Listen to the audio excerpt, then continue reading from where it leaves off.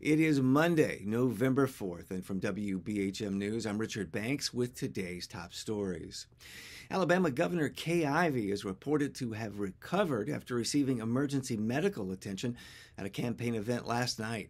Ivey was treated by paramedics after appearing to become unsteady at a campaign rally for U.S. congressional candidate Caroleene Dobson.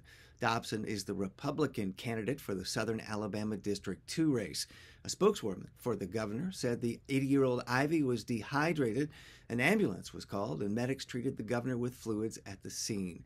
At last report, Ivey was recovering at home. Portions of Alabama could see record turnout for tomorrow's election, and with it, potential security issues.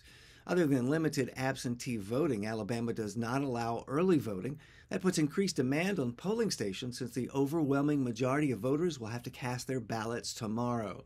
Local, state, and federal officials say they will be on the lookout for violations. The Birmingham office of the FBI says it will operate an election command post staffed 24 hours a day to provide a centralized location for assessing election related threats. In addition to election fraud, FBI agents will also watch for voter suppression, foreign influence, and threats to election workers. And the future of the former Brookwood Mall is up for discussion.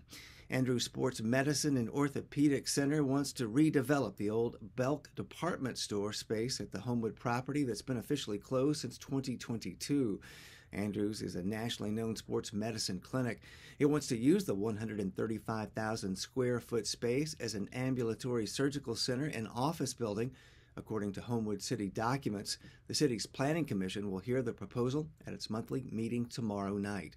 Also up for discussion is a plan to break up the old Brookwood Mall property into three different parcels, with one being for the Andrews facility.